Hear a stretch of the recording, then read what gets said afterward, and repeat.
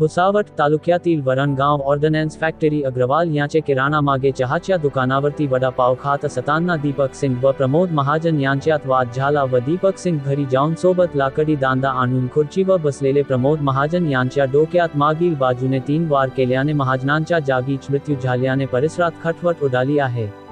N घटस्थापनेला मदत झाल्याने व नवरात्रा बंदोबस्त असल्याने पोलिसांना आरोपीस पकडण्याचे एक आवाहनचे आहे. सदरील घटना दिनांक पंधरा रोजी सकाळी नऊ दशमलव तीन शून्य वाजेच्या दरम्यान घडली।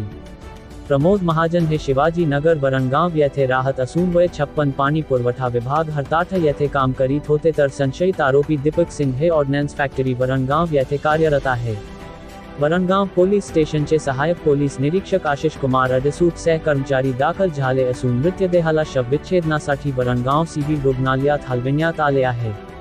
संशयित आरोपी हा फरार झाला असून वरणगाव पोलीस शोध घेत आहे बघत रहा एम एच उन्नीस news bureau chief Zoheb Sayyed Jatgaon जिल्हा महाराष्ट्र.